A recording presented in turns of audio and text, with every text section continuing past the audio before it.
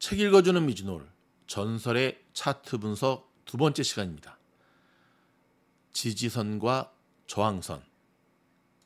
자 들어가기 앞서서 첫째 시간 우리 공부하도록 하겠습니다. 자 그림 보면서 상승 추세일 때는 저점을 잇는다. 그리고 상승 추세일 때는 거래량이 동반된다. 이 그림 박스죠.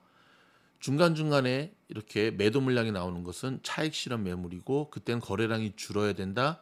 눌림목이죠. 그게 상승이다. 자, 하락장일 때는 고점을 잇는다. 고점, 고점을 줄을 잇는 거죠. 자, 하락장일 때는 거래량이 주는데 그거는 자연스러운 현상이고 자, 하락장일 때는 매도 물량이 많지 않아도 계속 하락하는 가장 큰 이유는 매수 주체가 없기 때문이다. 자, 그다음에 세 번째 우리 공부했죠. 자, 이렇게 불규칙한 불규칙한 움직임일 때는 매수와 매도가 팽팽히 맞서는 것이기 때문에 매매할 때는 적합하다, 적합하지 않다, 적합하지 않다. 자, 오늘은 바로 저항선과 지지선입니다. 자, 그림에 보듯 밑에 보는 라인이 지지선, 위에 보는 라인이 저항선입니다. 주가가 일정 구간 내에서 등락을 반복할 때 각 파동의 최고점을 연결한 것이 저항선이고 파동의 최저점을 연결한 것이 지지선이다. 주가가 저항선까지 상승하면 1년에 강한 저항에 부딪혀 더는 상승을 이어가지 못하기 때문에 아마도 매도 물량이 쏟아진다. 반대로 주가가 지지선까지 하락하면 매수 세력이 몰려 주가 하락세가 멈춘다. 자, 여러분 방금 읽어드린 거 여러분 잘 기억하셔야 됩니다. 이 천장틴 선생님의 차트 분석이 좋은 점은 차트 속의 심리를 읽어내는 것을 계속 설명해 주고 있어요. 자, 저항선에 부딪혀서 올라가지 못하는 이유가 뭐라 그랬죠? 매도 물량이 쏟아지. 자, 지지선이 내려왔는데 지지가 되고 지지가 돼서 다시 반등하는 이유가 뭐라 그랬죠? 여기 매수 세력이 몰려 있는 거고 여기는 매도 세력이 몰려 있는 거라는 거예요. 자, 여기에 대한 심리 분석입니다. 잘 들어보세요. 이와 관련된 심리를 분석해 보자. A 주식이 만 원 밑으로 떨어지면 바로 매수할 겁니다. 어떤 사람은 난 B 주식이 만 오천 원까지 오르면 바로, 매, 바로 매도할 거예요. 자 오늘 제가 어저께죠. 자, 우리 A반 학생들하고 단타 칠 때 그런 얘기했습니다. 딱 붕어빵 5브러치만 벌면 난 매도할 거다. 5브러치만 물론 이제 5불까지 못 가고 그냥 매도를 했죠. 못 올라가니까. 그러한 사람들의 심리가 시장에 그대로 반영이 돼 있다는 거예요. 다 책으로 돌아옵니다. 증권사 객장에서 혹은 개인 투자자를 만났을 때 흔히 듣는 말이다. 왜 사람들은 만 원 밑으로 떨어진 주식을 매수하고 즉 가치가 있다고 생각하는 거죠. 만 오천 원까지 오른 주식을 매도하려고 할까요? 즉 가치가 없다고 생각하는 거죠. 이런 심리는 우리 일상생활에서 비롯된 것일 수 있다. 현명하고 알뜰한 소비자라면 자신이 사려는 옷의 최저치가 어느 정도 수준인지 미리 알아본다. 옷을 예를 들지 말고 제가 한번 예를 들어볼게요. 명품 가방 얘기합시다. 명품 가방. 그럴 가능성은 거의 없지만 샤넬이라든지 에르메스 같은 명품에서 만약에 만약에 그럴 가능성 거의 없습니다. 하지만 신상품을 50% 세일한다 그러면 지금 뭐라 그러지 한국말로? 러닝 뭐라 그러나? 아무튼 난리가 나죠. 난리가 나죠. 난리가 나죠. 음. 세일은 고사하고 이번에 출시된 신상품 실제 이제 그렇게 이커머스 하는 사람들도 있어요. 명품의 신상이 제일 먼저 많이 나오는 나라가 미국이거든요. 항상 한국은 좀 뒤처지죠. 그래서 남들이 갖지 못한 신상 명품 신상을 직구로 구매하기 위해서 그걸 구매 대행해 주는 한때 짭짤했죠. 응? 오픈런이라 그러죠. 오픈런 생각이 났다. 할인이 아니라 신상 신상 뭐 명품 가방 잘 느낌이 안 오면 한때 잘 나가던 아이폰 얘기할까요? 애플이 아이폰 잘 나갈 때 아이폰 출시되면 뭐 애플 매장 앞에 줄을 나래비로 섰잖아요. 그렇죠? 줄을 나래비로 섰죠. 왜? 남들보다 좀 더 빨리 갖고 싶어서 이게 이제 시장의 심리라는 거예요. 이게 시장의 심리라는 거예요.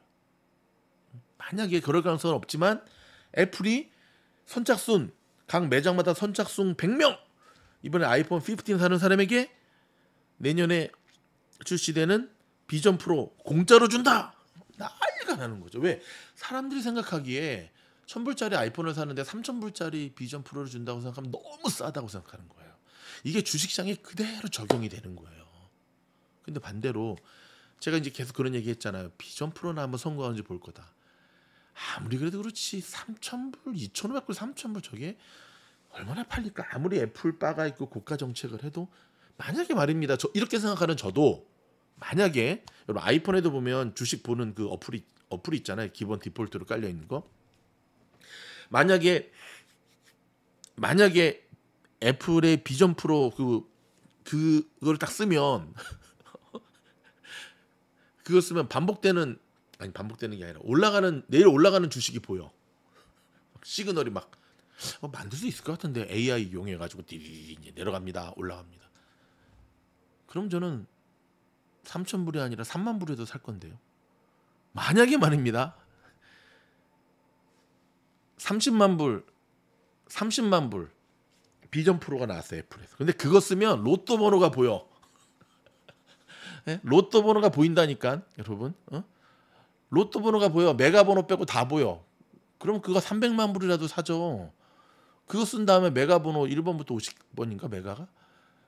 예. 네. 50장 사면은 인생 역전인데. 이렇듯 이렇듯 시장에는 시장의 심리가 그대로 들어가 있다는 거예요.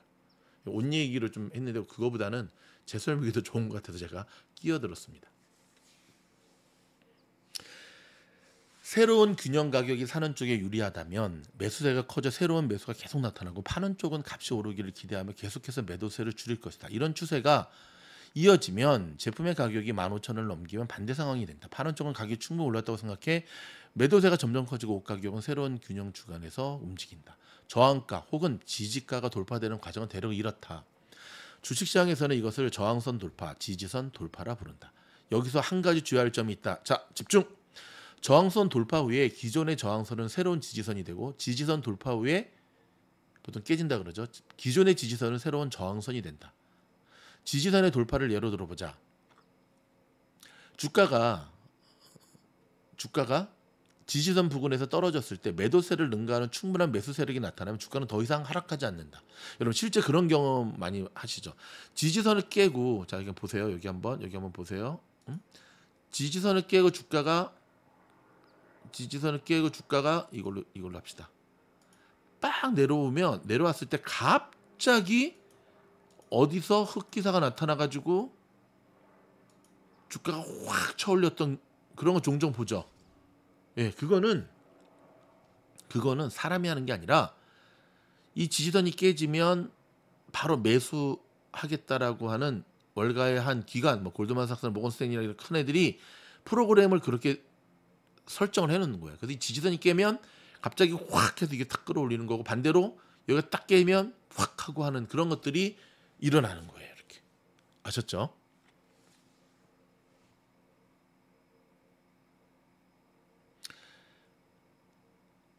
다시 한번 중요한 거 다시 한번 읽어드릴게요. 주가가 지지선 부근까지 떨어졌을 때 매도세를 능가하는 충분한 매수 세력이 나타나면 주가는 더 이상 하락하지 않는다. 이런 움직임을 몇 번 반복하면 시장 전반에 이 지점이 최저가라는 인식이 형성이 된다. 그런데 어느 날 갑자기 아주 큰 매도세가 나타나 주가를 지지선 밑으로 떨어뜨리면 이 지지선을 최저가라고 생각해 주식을 매수한 투자자는 모두 손실을 입는다. 이 중 누군가는 바로 손절매하고 또 누군가는 원래 기대했던 수익률을 고집하며 주가가 반등하기를 기다릴 것이다.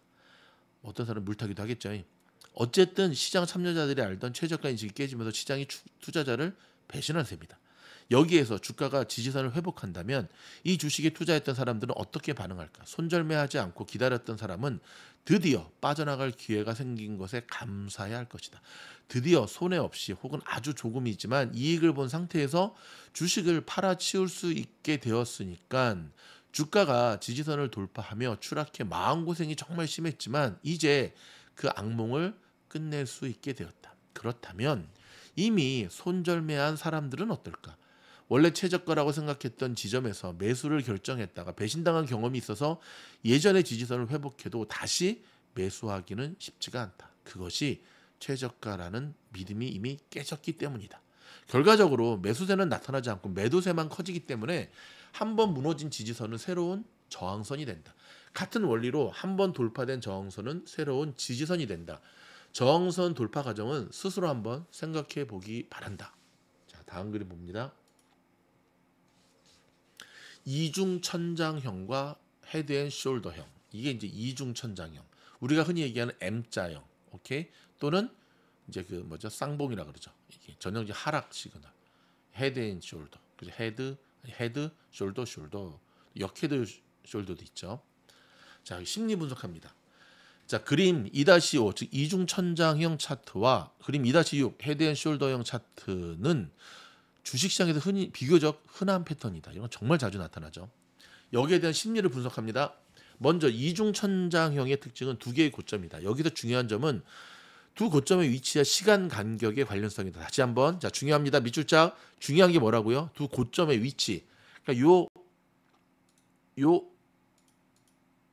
요, 요거의 위치라는 거예요. 요거, 요거, 요거, 요거, 요거, 요거, 요거, 요거, 요거, 요거, 잠깐만, 요거, 요거, 자, 중요하니까, 자, 보세요. 요, 얘의 위치라는 거예요. 두 고점의 위치. 그 다음에 또 뭐라고요? 시간 간격에 관련해서. 그 다음에 이게 어느 정도의 간격을 가지고 나타나느냐. 이 간격. 응?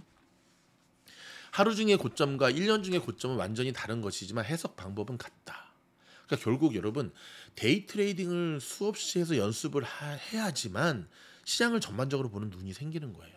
다시 한번 책으로 돌아옵니다. 주가가 계속 오를 때 매수 세력의 최고 관심사는 과연 기존의 최고가를 경신할 것인가이다. 이때 매도 세력은 지난번처럼 기존 최고가에서 매도세가 몰려 주가 상승세가 꺾일지 유심히 살필 것이다. 다시 말해 주가가 상승세를 탈 때 주식시장 참여자의 관심은 그 움직이 지난번과 같을 것인지에 집중한다.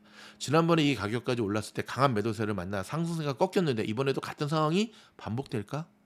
가능성은 두 가지뿐이다. 뭐두 두 가지 중 하나죠. 돌파하거나 돌파하지 못하거나.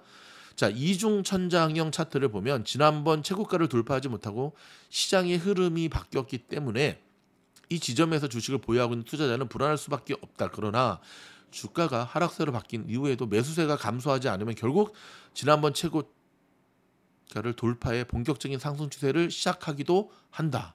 그러니까 이렇게 흐를 때도 있지만 매수가 들어오면 이렇게 갈 수도 있다는 얘기죠. 반대로 반대로. 자 우리가 이거는 여러분 자 이거는 우리가 그동안 공부 정말 많이 한 거죠? 그렇죠 이것만 알아도 주식시장에서 돈 벌죠. 우리가 했잖아요. M자형 하락. 그럼 뭐 공부했죠?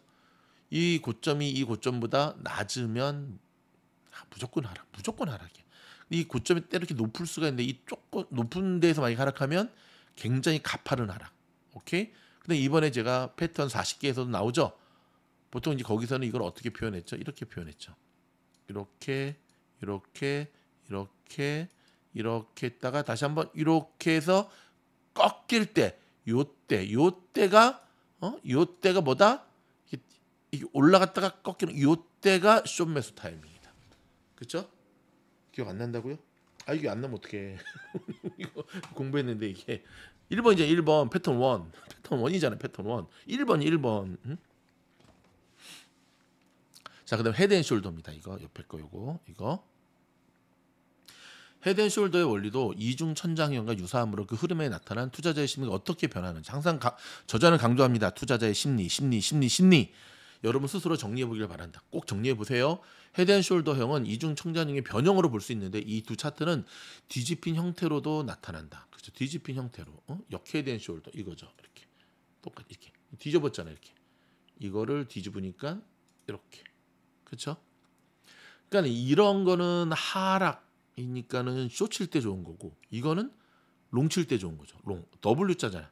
우리 공부 많이 했죠. W W 그렇죠?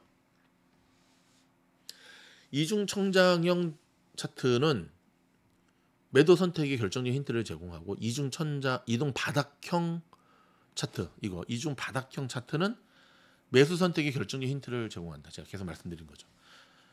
주가 차트를 볼 때 그 이면에 숨겨진 주가 흐름에 대한 시장 참여자의 심리 변화를 파악하는 것이 매우 중요하다. 자신이 그 상황에 처한다면 어떻게 행동할지 심사숙고해 볼 필요가 있다. 이런 자세 습관이 되면 언제 매수하고 언제 매도해야 할지 서서히 감이 잡힐 것이다. 서서히 감이 잡힙니다. 아셨죠? 그 다음에 이동 평균선. 이동 평균선은 주가의 추세를 판단하는 중요한 지표다. 주가의 움직임은 보통 불규칙한 지그재그 선으로 나타나는데 위아래 편차를 조금씩 줄여 완만한 곡선으로 표현한 것이 이동평균선, 평균값이란 얘기죠. 이동평균선을 계산하는 방법은 여러 가지 종가를 기준으로 평균값을 구하는 방법이 가장 일반적이다. 예를 들어 10일 평균값을 구한다면 최근 10일간의 종가를 모두 더한 후에 10으로 나누면 된다. 그 다음 날 평균값을 구할 때는 그냥 종가를 더하고 11일 전 종가를 뺀 후 10으로 나눈다. 할 필요 없어요. 다 해주잖아. 응? 근데 이런 원리다라는 걸 아시면 돼요. 이렇게 계산한 하루하루의 평균값을 모두 연결하면 대체로 완만한 곡선이 나타난다. 그림 2-9의 이 그림입니다. 이동 평균선 모양은 평균값을 구하는 날수에 따라 달라진다. 기간이 길어질수록 이동 평균선 모양이 직선에 가까워진다. 참고로 나는 200일 이동 평균선으로 장기 추세를 50일 이동 평균선으로 중기 추세를 판단한다. 경험상 50일 이하는 큰 의미가 없기 때문에 거의 보지 않는다. 주가가 단기 흐름을 판단할 때에는 주로 주가와 거래량을 참고한다. 거래량 동그라미. 나는 보통 200일 이동평균선 아래 위치한 주식은 매수하지 않는다. 물론 단기 매매의 경우는 예외다. 지금 이 저자가 얘기한 거는 그쵸 장기적 매매 얘기한 거예요. 단타할 때는 좀 다르다 그러잖아요. 그렇죠? 기타 패턴. 나는 평소 기술적 분석을 할 때 위에 언급한 네 가지 방법을 가장 많이 사용한다. 그러나 이번 절의 제목이 기술적 분석을 위한 기본 지식이니 나는 잘 사용하지 않는 패턴 몇 가지를 언급하려 한다. 기술적 분석을 다른 다른 책을 보면 보통 삼각형, 터널형, 깃발형 등 다양한 차트가 등장한다. 하지만 내 경험상 이런 내용은 실전 투자에 거의 도움이 되지 않았다. 물론 나에게 도움이 되지 않았다고 해서 다른 사람한테 필요 없는 것은 아니니 관심 있는 사람들은 직접 공부해 보기를 바란다. 이 책은 나의 실전 투자 경험을 통해 가치가 있다고 판단한 내용만 선별한 것이기 때문에 주식시장의 모든 정보와 자료를 다룰 수 없는 점을 이해해 주길 바란다. 최근 컴퓨터 프로그램을 잘 다루는 개인 투자자 중에 맥키드나 스토캐스틱 같은 보조 지표를 참고하는 사람이 많다고 한다. 꽤 알려진 것만 꼽아도 20개에서 30개쯤 된다. 나는 주식 투자를 본격적으로 시작하고 2년째 되던 해에 많은 수업료를 내고 나서야 이런 지표들의 특징을 알았다. 이런 지표는 이상과 현실의 괴리가 너무 컸고 대부분 반짝반짝하다가 바로 사라져버렸다. 그렇다고 이 지표들이 완전히 틀렸다는 뜻은 아니다. 어떻든 이 지표를 만든 사람은 대부분 주식 투자에서 크게 성공한 사람들이니까. 하지만 지금 우리가 이 지표의 분석 결과대로 매매를 결정한다면 과연 어떻게 될까? 나는 이미 직접 경험했다. 나 혼자 거인의 어깨에 서 있다고 자신했지만 결국 비참하게 굴러떨어지고 말았다. 앞에서 내가 자주 사용한다고 소개했던 패턴들은 당연히 내가 발명한 것이 아니다. 하지만 실전 투자를 통해 그 이면에 숨겨진 투자 심리 변화를 확실히 체험했다. 특히 인간의 본성은 쉽게 변하지 않기 때문에 이 패턴들은 앞으로도 실전 투자에 매우 유용할 것이다. 혹시라도 내가 이 책에서 소개하자마자 바로 사라지지 않기를 솔직히 그런 일은 절대 없을 것이라 확신한다. 인간의 본성은 쉽게 바뀌지 않으니까. 다른 패턴의 이면에 감춰진 대다수 시장 참여자의 심리 변화는 다른 고수가 설명해 주길 기대해 본다. 자, 그러면서 2-10 자, 요거 자, 그림 2-10은 종합적인 차트 분석인데요. 추세선, 저항선, 지지선을 종합했을 때 지지선 바로 아래가 매도 시점이다. 여기, 여기, 여기가 지지선 바로 아래가. 일단 지지선이 무너지면 상승 추세가 끝난다고 볼 수가 있다. 써 있죠. 그 다음에 그림 2-11은 헤드앤숄더 차트로 2-10과 비슷한 원리는 기본 원리는 유사하지만 저항선 부분에서 확실히 다르다. 자, 요거와 많이 비슷해요. 하지만 저항선 부분에서 확실히 다르다. 오케이. 자, 그다음에 요거 그림 2-12 요거 요거 요거 요거 삼중 바닥형 차트의 매수 시점 저항선 2-12는 여기 요 그냥 읽어 드리는 거예요. 12는 2-10을 그대로 뒤집어 놓은 패턴으로 가장 일반적이고 이상적인 매수 시점을 보여준다. 여기서 상승 추세가 시작된다면 거래량이 증가할 것이다. 그러니까 이거 이거는 자 지금 이 이거 2-12 이거는 2-10을 그대로 2-10이 뭐냐? 요거 요거 요걸 뒤집어 놓은 거란 거예요. 요거를 뒤집어 놓으면 요게 된다는 거예요. 요거. 그렇죠? 똑같죠? 자, 그다음 2-2-13이 요거. 요거에 여러분 요거 여기 나오죠? 자, 그림 2-13은 요거 아주 흔한 주가 패턴 중에 하나이다. 2-13은 많이 보죠, 요거. 그렇죠? 여기에서 표시해 준 매수와 매도 지점을 고민해 보길 바란다. 생각을 한번 해 봅시다. 요거. 매수, 매수, 매도 고민해 보자 이거죠. 실전에 구- 적용되는 구체적인 내용은 사장에 언제 살까에서 알아보겠다. 매수와 매도 지점은 분석 상황에 따라 당연히 달라질 수가 있다. 요, 요, 요 그러면 연구 많이 하세요. 요것도. 그러니까 지금 이걸 그냥 이렇게 보고 끝내면 안 되고 이거를 지금 주식시장에서 계속 대입을 해봐야 돼요. 여러분의 종목을 찾아서 아 이런 오늘 오늘 주식 중에 이런 이런 모습이 나타났구나, 이런 모습이 나타났구나. 그러면 그러면서 이제 계속 그걸 반복하고 연습을 하면 실제 매매에서 이게 미리 보인다니까요. 살다 보면 종종 이상과 현실이 많이 다르다는 생각이 들고 난다. 주식시장도 마찬가지다. 위에서 살펴본 여러 가지 주가의 움직임과 그 이면에 숨겨진 투자자의 심리는 오랜 시간에 걸쳐 실전 적용 효과가 입증된 기술적 분석 방법들이다. 기술과 사회가 발전함에 따라 오늘날 미국 주식시장에서 일어나는 주식 거래의 70%가 컴퓨터 거래라고 한다. 지금은 거의 80, 90%예요. 네. 이때만 해도 컴퓨터 거래에 인간의 본성에서 비롯된 심리 변화 과정을 그대로 적용할 수 있을까? 분명 차이가 있을 것이다. 하지만 거래 주체가 사람이든 컴퓨터든 거래의 핵심은 돈이다. 주가가 올라가면 매수세가 매도세를 앞지르는 것이 기본이다. 사람이 매수를 결정하든 컴퓨터가 매수를 결정하든 매수가 실현되는 순간 주식시장에 돈이 흘러 들어간다. 주가의 정상적인 움직임과 주기.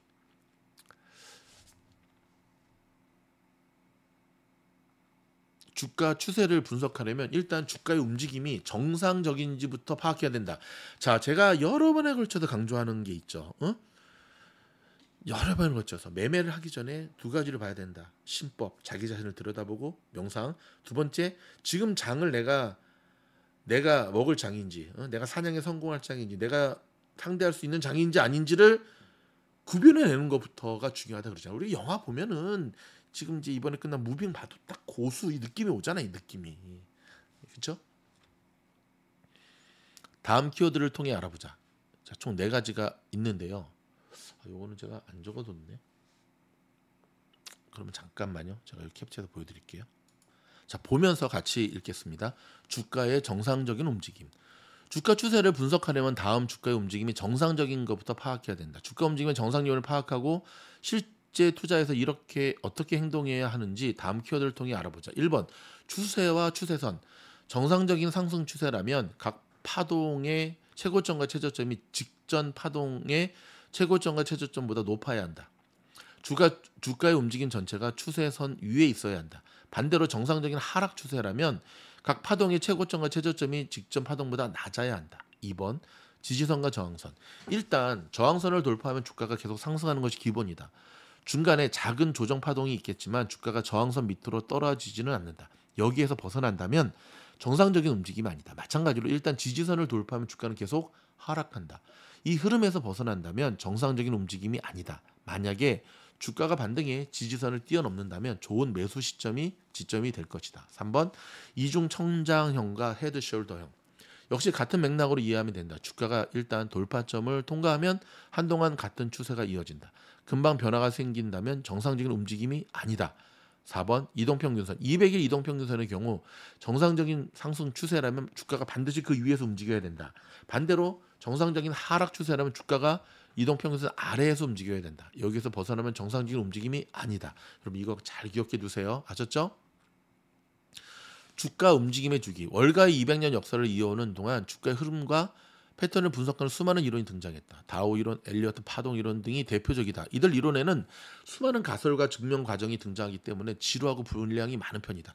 그럼에도 불구하고 지금까지 명맥을 유지하는 것은 실, 실제로 활용 가치가 있기 때문이다. 어? 스팸 전화입니다. 죄송합니다.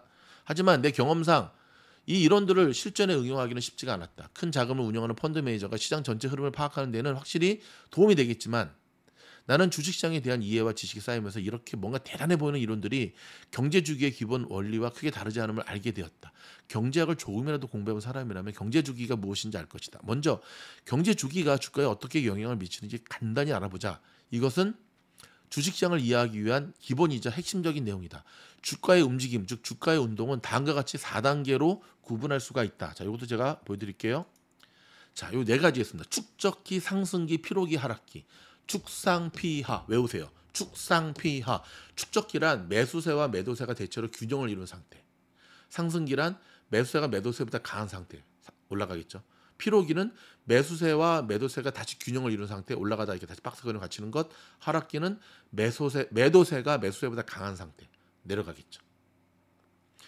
자, 요거를 이제 하나의 그림으로 이제 이제 그려봤습니다. 하나의 그림 그림 그림 어디냐 어디냐 어디냐 요거다 맞죠? 오케이. 자, 거의 끝나갑니다. 자, 집중.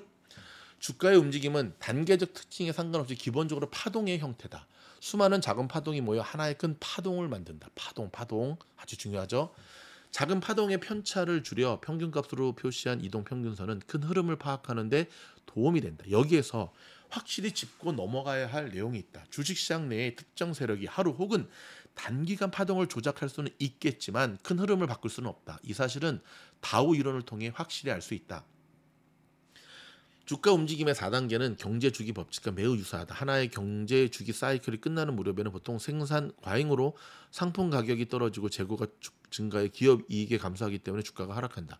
축적기는 일종의 회복기다. 기업은 잘 팔리지 않는 상품을 단종하고 재고를 줄이면서 경제 회복기에 대비한다. 경제 회복기는 주가 움직임 4단계 중 상승기에 해당한다. 기업 이익이 증가하는 것을 보고 투자자들이 주식을 매수하기 시작하면서 주가가 상승세를 이어간다. 어제 뉴스 보니까 한국의 신세계 그 이명희 회장인가요? 그 각 부서 사장들을 다 잘라버렸더라고요. 새로 물갈이. 왜? 매출이 너무 떨어지니까. 기회 충분히 줬는데 못 해내니까. 그리고 LG전자도 지금 비상이 걸렸대요. 재고가 30조 원어치가 쌓였다나? 재고가 안 팔린 가전제품. 그래서 지금 초비상 경영에 돌아간다고 하는데 지금 방금 읽어드린 이거죠. 자 경제 회복기는 이어지는 동안 경쟁이 심화되고 시장이 포화되면서 다시 생산 과잉 문제가 나타나는데 이때 주가 움직임의 피로기가 시작되는데 보통 피로기는 그리 길지 않고 곧 하락기가 이어진다. 피로기가 되게 짧다는 거예요. 이건 되게 짧죠. 곧 하락하죠. 하락기가 어느 정도 이어지다 말은 마무리되면 다시 축적기가 시작이 됩니다. 다시 다시 다시 이게 반복이 되는 거예요. 이렇게. 축적, 상승, 피로, 하락, 다시 축적, 상승 이게 계속 반복이 된다는 얘기예요. 계속 반복. 역사도 반복, 주가도 반복. 응? 경제 사회학적 관점에서 볼 때 자본주의 경제 주기는 사회에 일련의 부정적인 영향을 끼치지만 계획 경제에도 근본적인 문제가 존재한다. 계획 경제의 바탕에서 시장 경제를 도입한 중국에서도 생산 과잉으로 인해 육류, 계란, 과일 가격이 떨어지는 상황이 발생한다. 이 상황이 이 현상이 바로 경제 주기 사이클의 한 부분이다. 축적기 후반에서 상승기 초반으로 넘어간 후 거래량이 폭발적으로 증가해 단번에 저항선을 돌파해야만 본격적인 상승기가 시작이 된다. 일단 상승기가 시작이 되면 주가의 움직임은 직전 파동이 최고점을 뛰어넘는 상승 추세를 이어간다. 간혹 예외가 있지만 이 시기 주가는 200일 이동 평균선 위에서 움직여야 한다. 이때 투자자는 주가의 단기 변화에 동의하지 말고 침착하게 상황을 지켜보면서 위험 신호를 알리는 비정상적 움직임이 보이는지 확인해야 한다. 주가가 피로기를 지나 이동 평균선과 지지선 아래로 떨어졌다면 매도 시기를 알리는 신호로 봐야 된다. 우리 계속 공부했죠? 그렇죠? 일부 작은 기업에서 생산하는 특화 상품은 전체 경제 주기에 영향이 거의 없지만 그 기업의 주가 움직임은 경제 주기의 영향권을 벗어나지 못한다. 한 기업의 상품이 시장에서 인정받으면 매출과 이익의 잠재력이 투자자의 결정에 반영이 된다. 기대 주가가 상승하면서 거래량도 증가한다. 하지만 이들 중 상당수가 중장기 투자 목적이기 때문에 이들의 매수가 끝나면 거래량이 크게 감소한다. 이런 상황에서는 평소보다 훨씬 적은 거래량으로 주가 변화에 영향을 줄 수가 있다. 간혹 중소기업 주식이 단기간에 큰 폭으로 급등하는 이유가 여기에 있다. 하지만 시장 경제는 언제나 자유 경쟁을 지향하기에 곧 유사 상품 혹은 대체 상품이 쏟아져 나온다. 그래서 오늘날 시장 경제에는 블루오션 혹은 블루오션, 레드오션 상품이 존재하기 힘들다. 그러니까 블루오션 혹은 블루오션 상품이 존재하기 힘들다. 왜냐하면 너무 뭐 뭐가 좀 잘 된다 그러면 막 달라붙잖아요. 이렇게. 치열한 경쟁으로 기업의 매출과 이익의 증가 속도가 떨어지고 호황과 불황을 끊임없이 반복한다. 그러니까 이제 사실 애플이 대단한 거죠. 어? 그 아이폰 제2의 아이폰 때려잡으려고 그렇게 달려들었지만 철저한 경쟁력으로 다 물리쳤잖아. 뭐 아이폰만 물리쳤나? 에어팟도 물리쳤고, 그렇죠?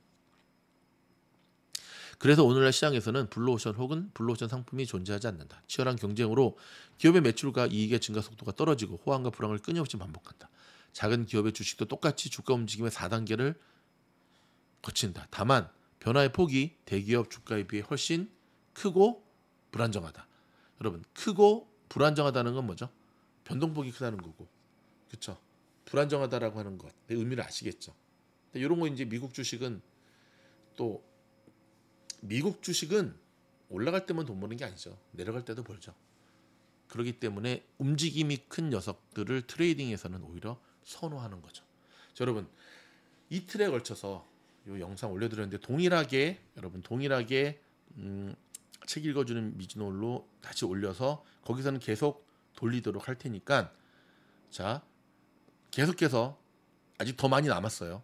이어지도록 할 테니까 책 읽어주는 미즈놀 꼭 구독해 주세요. 아직 구독하는 법 모르신다면 다시 한번 광고 드립니다.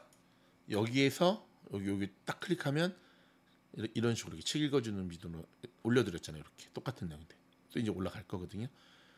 그러니 점진적으로 이렇게 되면 이제 여기서 계속 할 테니까 어, 161명 구독자 최고 최고 최고 최고 최고.